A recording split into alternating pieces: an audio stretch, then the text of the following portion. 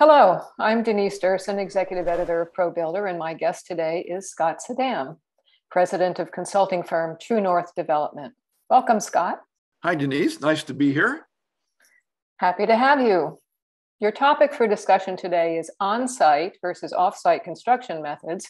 And you say that off site construction has been on the verge of revolutionizing home building for a long time, yet its promise remains unfulfilled. Why is that?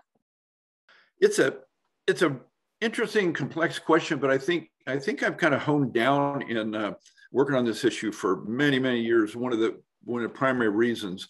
I real quickly my old anecdote. Uh, Bill Pulte uh, would be, uh, I guess it'd be 33 years ago this January. I was in a Bill Pulte session, and uh, he said that uh, that manufacturing processes that will revolutionize the home building industry and he helped, he says, are about this far from taking place. Now, this is 33 years ago. So, and he said it's been that far since the end of World War II, that far. And uh, I saw Bill, oh, about, oh, I saw a year before he passed away. So that's would be about four years ago now. Mm-hmm. So we're talking uh, 28 years after he said this much. And we were catching up. I think I visited him and I said, "Hey, Bill, remember what you said about uh, you know this far from revolutionizing home builder, holding the manufacturing process? How far is it now?" And he kind of sat back and smiled. And he said, "About this far." and uh, he just kind of shook his head. And what's ironic, if you go back to the the uh, Sears and Roebuck houses, they shipped in boxcars starting, I think, in about 1912, and they stopped uh, uh in 1940 when World War II was breaking out and the, all their production capacity got used for other things. But you know, they'd shipped the whole house in a boxcar, pre-cut, labeled, including shingles and the, you know, when they say everything but the kitchen sink, it had the kitchen sink. Everything in that house. And you see, when you know the look, you see those Sears Craftsman houses. I actually grew up in one through fifth grade in Indiana. You see them everywhere. They are everywhere. And they were great houses great houses today, and we still haven't gotten back to quite that level of sophistication. There's one of the big, I could say the name BMC has a great process called Ready Frame, and it works really well. It's a great process, but in reality, it's not as sophisticated as the Sears homes that were being built in 1912. So, how much progress have we made?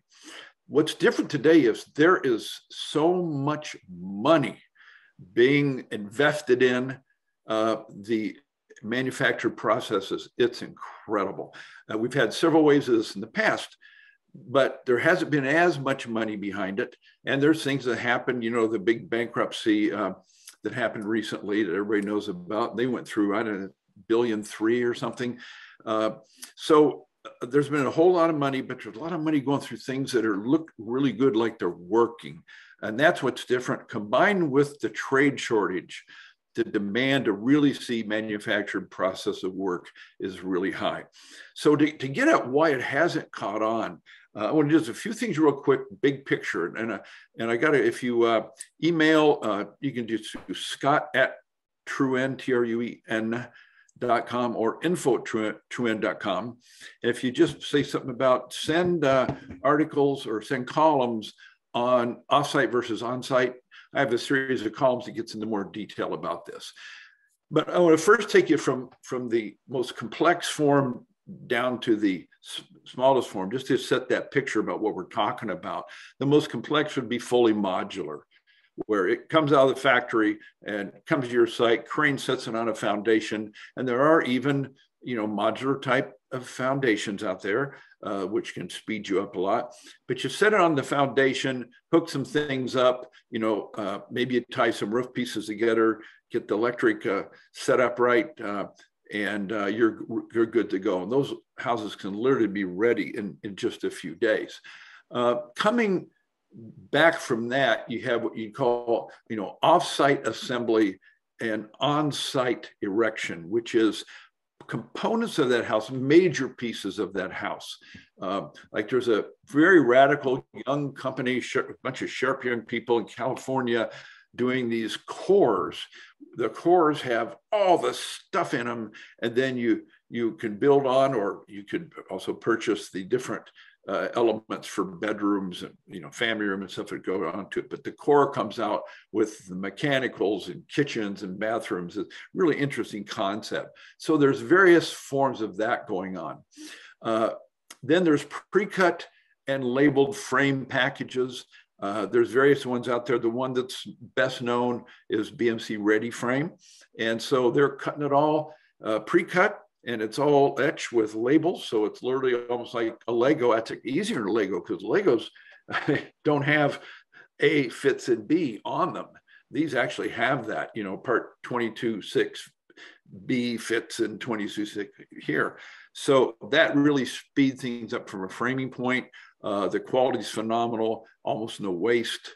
Um, then you have what I call conventional combinations, which could be any mix of factory built components. It could be as simple as stairs. Uh, we know I don't know what percentage of the stairs are built off site in this country. I wonder if anybody knows, uh, mm-hmm. but it's probably something like 20%, maybe I'd guess. When our travels around the country, we see where the stairs came come in and pre-built, and they're just hanging it in there. Uh, and it gets then into the, the last few categories, combinations of things that everybody knows, roof trusses. Uh, we still have places in the country where roofs are stick built. And, uh, and a lot of times builders have good reasons for doing that. Uh, but uh, many times when we really do a complete analysis, which is what we're going to be talking about in a second, how you do that, a lot of times uh, we find out that if you do know how to measure true total cost, uh, substituting uh, trusses for stick building more often than not does work. Then we have wall panels, which have just come and gone, come and gone, come and gone. Uh, some of the big issues of wall panels is getting the frames or getting the foundation straight enough to use them. Uh, that's really too bad that that's the situation, but it's that's reality. A lot of builders will tell you. And uh, I was saw some uh, last week. We were doing a, a week long lean in Michigan, uh, and those uh, foundations were absolutely beautiful mm. with no weights of concrete. The foundation straight and narrow, so people can do it. They absolutely can do it, but uh, that can be a real uh, tough call in some places. And then we have the uh, engineered or precast foundations. Uh, and uh, companies of, uh, there's several different brands available out there. And you can have a foundation, you know, you put in a footer, you set the foundation in, and it can be ready to go, backfilled, ready to build on literally in two days, uh, theoretically, even one day. But two days is pretty common. And then various uh, subcomponents. You think of, you can buy stoops that are precast or pre-built. You can buy dormers, one of my least favorite things, fake dormers, uh, but you can buy those all day long already made. You set them out there on the house. Even things like uh, stoops for your for your air conditioner, pads for your air conditioner. You know the various components like that. Uh, uh, and you know, most places now use uh, the terminology. Most places use box cabinets. So we got a cabinet built in the factory. It comes in a box. You put it in. But there are still some markets. Kansas City is one of them, where the great majority of the cabinets are built, stained, painted, finished, all on site in the kitchen, in the bathrooms. Uh, that seems hard to believe, but that there are some markets where they do that and they say it saves money. Uh, but you can go down the ro- road not very far to another market, and they, they look at you like you're out of your mind if you if you say other people do that. So this is what's fascinating about the business. You go from city to city to city to city. Everywhere you go, it's different. This week I was in uh, Bend, Oregon, and uh, I, you know, I've walked as many houses as anybody I know, and I've been at, at walking houses the last, I think, five consecutive weeks, five five different builders uh, with COVID opening things up.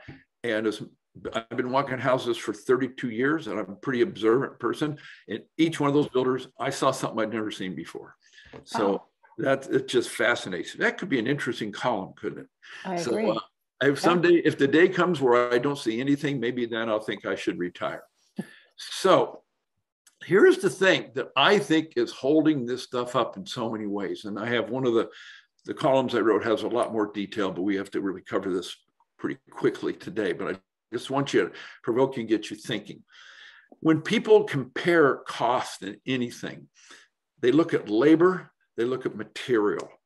Sometimes they look at process, which includes overhead, trips to building site, the things that go with it, impact on, on the next trades following. Uh, and but but generally speaking, you don't see too much of that. You were just looking at what's that bid price? Hmm. And this industry, like we all know better, we know that bid price is not the same as total cost, or as I've taken as saying true total cost to try to emphasize to people you're going to get all the way down to nitty gritty. I think I may have done on a previous podcast this example of a mason. This happened to be in the Detroit area who pointed out to the builder that they were putting porches on these uh, found on these uh, elevations now. They decided to go to porches with some craftsman columns, update the look. Uh, so new facade. Well, they had been doing uh, waistline or some people call wainscot brick all the way around to the house.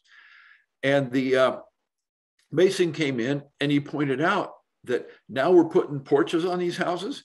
You, he said, no lo verlo, no lo verlo, which means, and I, my Spanish is okay. And I said, you can't see it. He says, Yeah, can't see it. And he's all excited to tell us about it. And his uh, English was a little shaky, but we were getting through it. He, he was really, really sharp.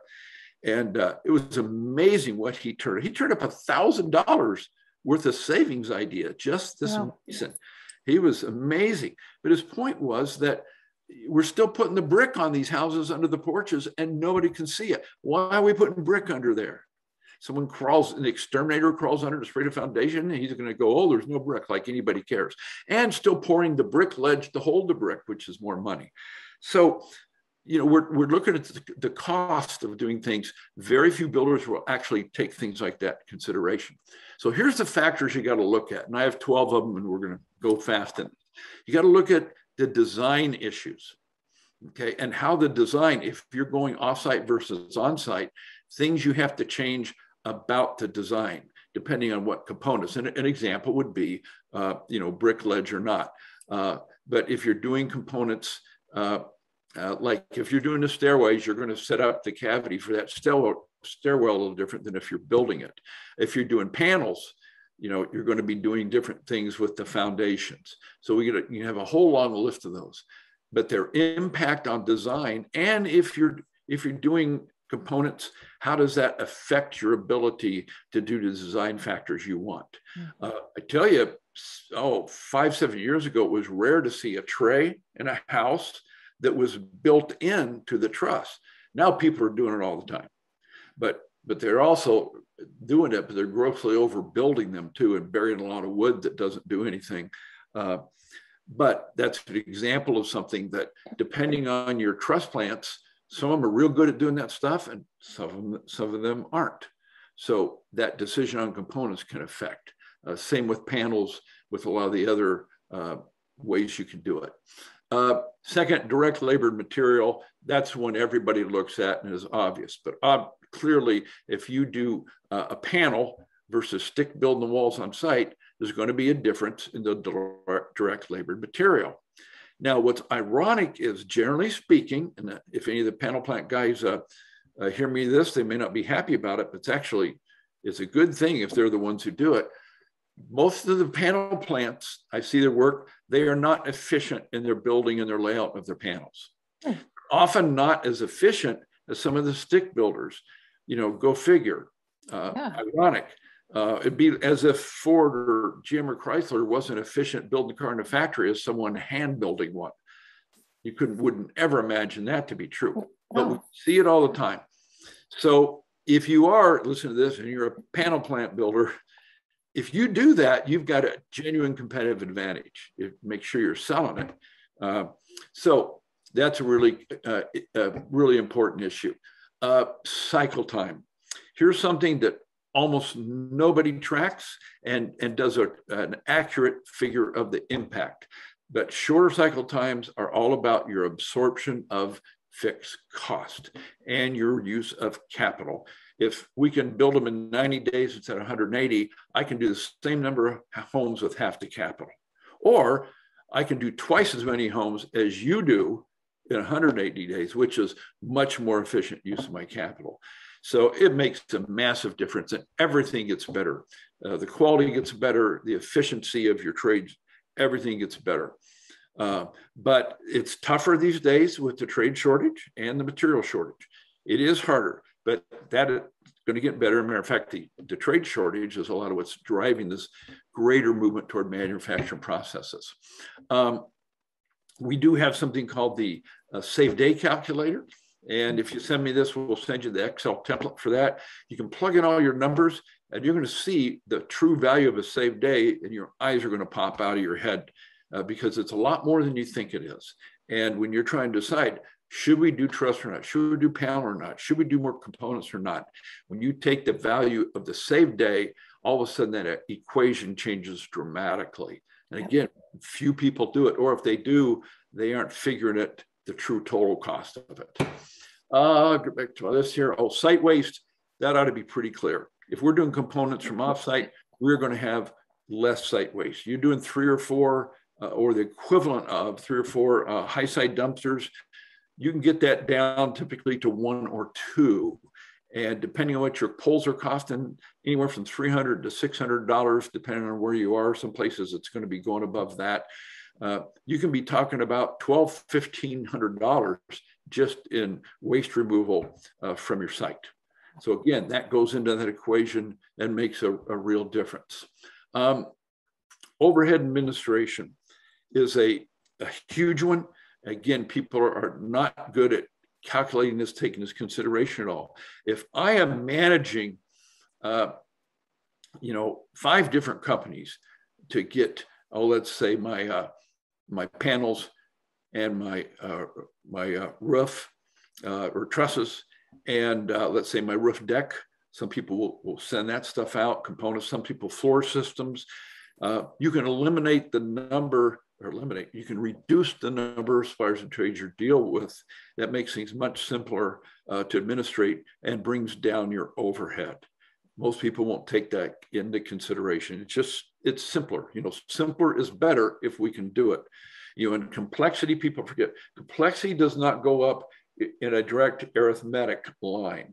Okay. It goes up exponentially as it increases, you know, when you instead of when you double something, it doesn't increase it by two it, at the square, you know, it starts to go, go, go up.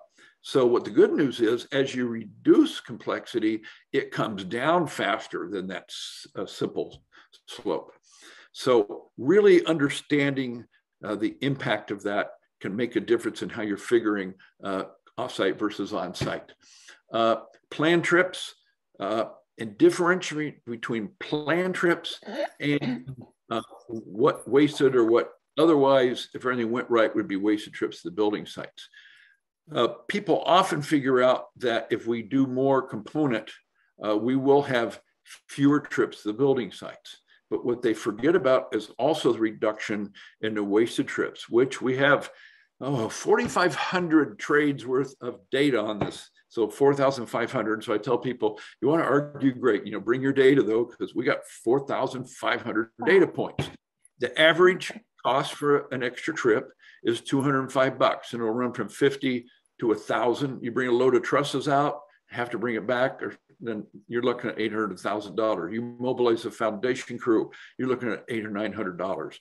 You're sending a guy out to just tweak the uh, the louvers on the heating and air system after the people move in, okay, that might be 50 bucks. One guy stops by for 20 minutes, right. but they're, they average 200. Uh, there are more than 50 per house. That's a very conservative number. So right wow. there, 10,000 bucks buried under every house in America.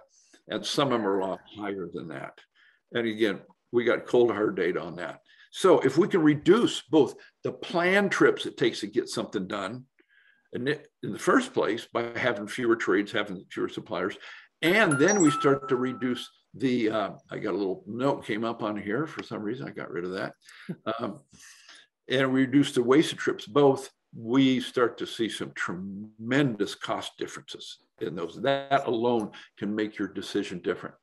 Then you go to one of my issues I've been harping on for 30 years, uh, VPO, And I don't know if you recall, a few years ago, I wrote a series of columns. I was going to write one column on, on variance, and then I wrote two, and then I had a third one, and I was ready to do the fourth one. And you called me and said, Scott, okay, you know, say, you know, we can't do four in a row on, but, but Denise, it's really important. So anyway, so we have a, uh, we have a, uh, a, a, PDF of all the columns on that too. So we'll send that to you.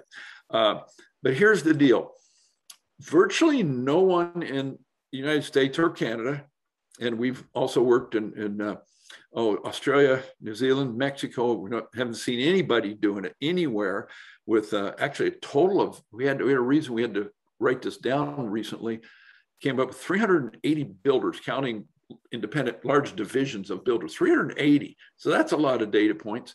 Finding someone, I finally found a couple that do it to a degree, not as deep as we're showing them how to do it, but the true total cost of variance. If you look at any VPO, some people call them FPOs, field purchase order, EPO, exception purchase order, or just a variance. They always have the labor and or the material. Okay, uh, someone runs over a, a, TJI and breaks it, and they got a hot shot no one out from the lumber company. Or you're, you're forking up a load of truss and the guy grips it wrong and you, you crack a truss member and they got to replace that. You know, anything that can happen. You know, you got someone goes through the carpet in a house and didn't take off their shoes and, you know, whatever, scratch the countertop, a million things. Everybody get, got the labor, excuse and the materials. What virtually nobody tracks is the process cost, which includes the overhead and the impact on schedule. Okay? You might be able to, to get the, that fix squeezed in there, but sometimes these things push a house back a day or two, or sometimes a week because yeah. of problems. And if you aren't figuring that in, you don't know your true total cost. If you aren't figuring the administrative portion in, you don't know your cost of both you and the supplier and trade. Right. Now, I mentioned that Mason. Uh, he came up with with a, an example, another example in it about a, it was a keystone that they did. They let a customer talk them into it, do a custom keystone over the door, front door that had a little OG around the middle of it, you know, a FIPON thing. Uh, well, from 10 feet away, there's nobody could ever see the difference. And nobody, you could have people walk about 100 houses, half with one, half there. No one would ever come up with that. But the customer wanted, okay, do it for the customer. Custom order, it got lost in the system. Okay, so he said it was hmm. about, oh, two guys and about 15 bucks. It's about a $30 problem that, he had to eat because of it. We had the team work on this and after a couple of weeks, they got to work at. They identified more than 50 specific steps it took between the builder, the supplier, multiple builder personnel, purchasing, design, construction, the supplier, and back to the mason and talking to the customer about it. It took more than 50 steps, totaling well over a thousand dollars. Oh my God. So, and, and people don't measure this stuff. So what seemed like nothing. And then the, the kicker was the mason said, there's something on virtually every house. There's something that like we that? have a, a lintel the wrong size, wrong length, wrong width. And so it started what add up to every trades and it's a massive amount. So taking that, the fact that here, if you do more offsite, you are going to reduce VPO. So you need to take variance into consideration. Uh, in process rework, something nobody measures, and this is very difficult to track, which is all the rework that goes on before you have those final walks, quality walks and final walks. You catch the stuff there, you get trades and you fix it all. Okay. Most builders do track that and good, but they got to track the number and the dollar value because I could have a, a hundred paint touch ups, but that's not going to come near the value of a water leak coming to the second floor and gets into the family room it's going to cost dramatically more. So these kind of issues, you got to be looking, are we going to eliminate any of that by doing more component? So the in-process rework will drop with components and you got to try to put a value on it. Some of the stuff is very tough. Uh, one of my favorite Dr. Deming quotes, the world's foremost, foremost quality guru, he actually died 30 years ago. hmm. this year, 21. 30, I can't believe that. And I was fortunate to get to know him. And he would say some of the most important numbers for management are unknown and unknowable, but you still got to really try hard to get your arms around them. And the next one's a perfect example the true total cost of warranty. Okay, I, you, what's the labor material? We can do that all day long. If we think about work, we ought to be able to come up with the process, the overhead part of that too. Almost no one does, but that can be done without too much work. But here's what we can't track what's the impact on the customer? If the customer is upset with the warranty issue and you've come three times and this happened and that happened, it's still what they want, and they have the soccer board meeting that week, that night, or a church committee meeting, or at work in the lunchroom, they're telling everybody about Ace Homes and uh, what's the dollar value of that? We can't put a number on it, except we know it's a big deal. So really understanding, and you should. Some people say, yeah, we tried it, didn't work, but it should reduce warranty to the degree we do more components. And finally, uh, use of things like equipment on the site. For example, if we go to trusses instead of stick built, there are people who do it without a crane. If you've got a small army of guys handing up truss, it's not a good and safe way to do it. You're so much better at having some type of a crane or lift. You can do it with a high low, however people do it. But uh, doing it by hand with a with an army of guys handing them up, you're looking for workers' comp claims. You're looking for accidents, trust up breakage rework. I've seen it done. There's people who can do it, but don't recommend it. So if you're doing the true total cost, there's my timer. Sorry about that. I tried to turn that off. there we go. Uh, it's still going. Stop. There we go. So, okay. So uh, if you're doing the truss, you've got to take into consideration. Now, maybe you're someone who keep has a crane around for other things, uh, for panels. It's a lot easier, quicker with a crane. That's easier to do by hand. But if you have, you know, you can do panels 60 feet long. Uh, that's going to be awful tough to do by hand. So maybe you have you have the crane for that and that, and you can amortize it over more stuff. But anything it takes in addition to do it, uh, then you got to add the cost of that in. So there's 12 things you got to be looking at. And yeah, the initial bid price, which is the direct labor material, that's right there, right? I think that's our uh, number two on the list. Design was first because you think of design.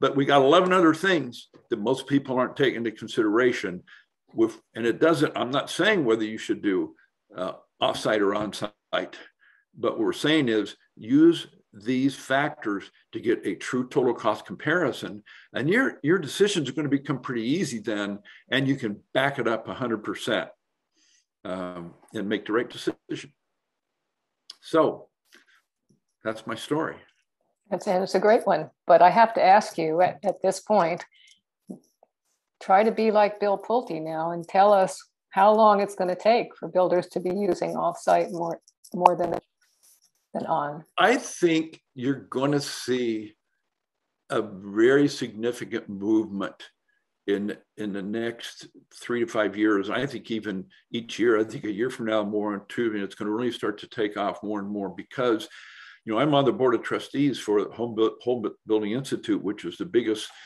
uh, purveyor of trade training in the country by far. And we're doing all sorts of cool stuff, you know, the academies, and there's a lot of great stuff happening. But even if we the the output triples or quadruples, it's not going to be enough. And uh, you know, political considerations, uh, it's getting uh, immigrations getting trickier and harder. Yeah. Uh, and so we're not going to solve this uh, you know, we have builders who are actually stopping production, stopping sales because of the of trade shortages. And other ones who are they keep doing it and they push their customers out and have customers unhappy. Uh, it looks like things might be slowing a bit, but of course, if you compare it to last year, last year was kind of weird year coming out of COVID. So you go back two years ago, I think it's about the same I saw uh, of two years ago. So maybe maybe it hasn't in reality, except for last year, the bizarre year of 2020 slowed that much. But uh, the there is so much need for it. Uh, we had a builder uh, I guess I shouldn't, I'm not going to even say, I'll just say it was in the Southeast that left the truss company that uh, just a couple weeks ago that they had worked with for more than 10 years wow. because they were back to something like 12 or 14 weeks waiting for trusses. Wow. And they found another one that said they could get them down to three or four weeks. Mm-hmm. Well, that time in the schedule is huge, worth a fortune. Yeah. And what's happening in as trusses as uh, designers, uh, boy, if you're an experienced truss designer now, you can name your price and go anywhere you want in the mm-hmm. country because everybody's having a hard time getting them. Uh, so that relationship is critical, absolutely critical. You know, having said that, I know a, a few builders that those relationships are so strong for they're always first in line, so they're still getting them. But we aren't going to we aren't going to solve this uh, with just more people. We're going to have to get more manufactured. So the demand is there. And what's different this time, I see more money and more technology. Some of the small companies that are working on some of the uh, computerized systems for things like design and takeoffs to feed into you know the manufacturing process uh, i think that's going to uh, really dramatically make the the ease of adoption simpler so i really believe uh, it's going to happen this time well, I hope so, and hopefully you and I will be around when it when it does. Yeah, we maybe we'll be around, we, you know, another way. You know, we'll, we'll do this, and we're, we're, both in our 80s and and uh, still talking about this stuff. You know, yeah, no, it's, now it's now it's this far away. So, anyway, I mean, it it's a a, a passion of mine. I, I totally, you know, I work both sides of it. I'm working HBI side, trying to develop more trades and I'm also doing a bunch of work with companies on the manufacturing and manufactured side. So, so I'm working both sides of it because we need both sides of it. We do, and we'll we'll look for that for sure. And you'll you'll be you will be around to tell us what's I, happening. I, yeah. my wife um, will. I'm, pretty sure. Don't you have somewhere to go when I'm 90? you know, I'll keep going. Well, Deming kept doing it till he was 91, so that's my goal. So okay, that Sounds good to me. Okay. Um, thanks so much, Scott. Really appreciate your taking the time to go through this for us. I always enjoy doing them and uh, send us your, send an email and uh, we'll send you the stuff. Excellent. I'm sure they will. Okay. Take care. Thanks again. All right. Bye-bye. Bye-bye.